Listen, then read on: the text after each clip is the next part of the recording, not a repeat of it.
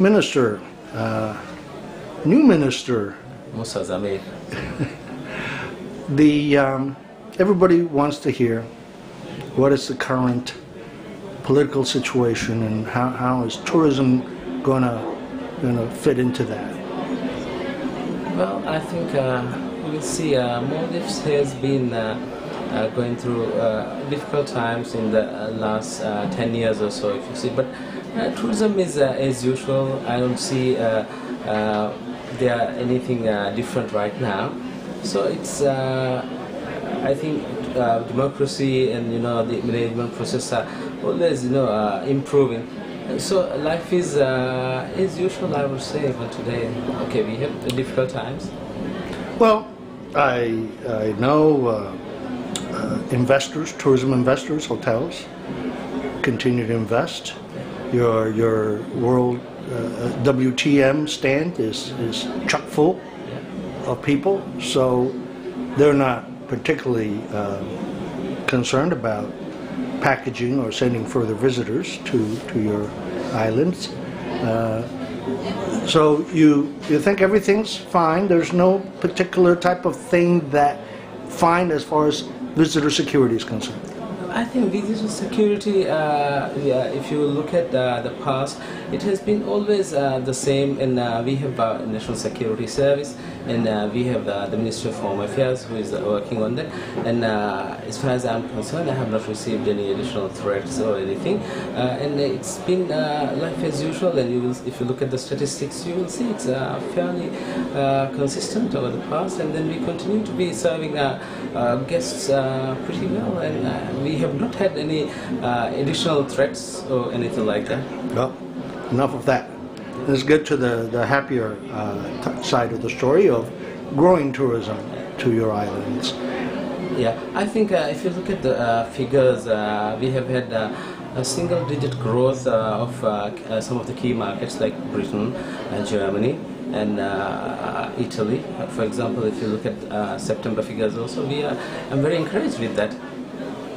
And what were the September figures? What kind of, Uh, se- uh, it, it's it's in uh, single digit, four percent, seven percent, and uh, I think my colleague here will be able that's, to that's pretty a- good. Yeah.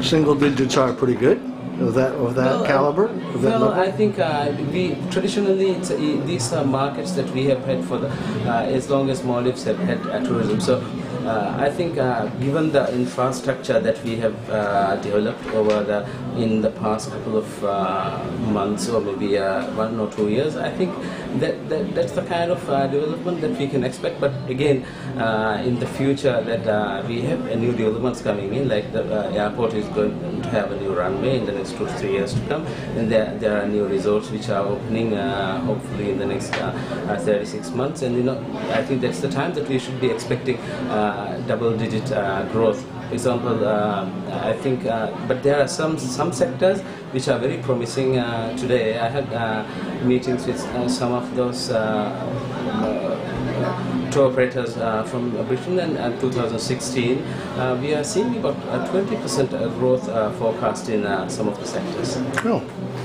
Long-term wise, what is the, you know, I, I realize your, your business card hasn't arrived yet, so, so it may not be a fair question, but in your thoughts, long-term, what would be the ideal level of tourism for Maldives? Well, I think, uh, see, uh, Maldives has graduated. Uh, Maldives has actually, from the least developed nations, we have gone into the uh, developing nation, uh, state, and also uh, we have met uh, some of the key indicators that needed by uh, Millennium uh, uh, goals. And I think, looking at all this. Um, for us to you know further widen the income you know tax base i think we need to definitely expand so when we have the new infrastructure which our government has uh, promised like the airport and uh, also uh, support facilities related to it. Uh, not only the international airport, there are so many uh, uh, smaller domestic airports which are coming up. Once that comes, I think there are figures that we are looking at. These, these are very ambitious figures, but I can tell you, we can, now we are targeting 1.5 million, and hopefully by 2018 we could be expecting about 2.5 million. Well, that's, that's double digit, certainly. Thank you very much, Minister. Pleasure to meet you. Thank you.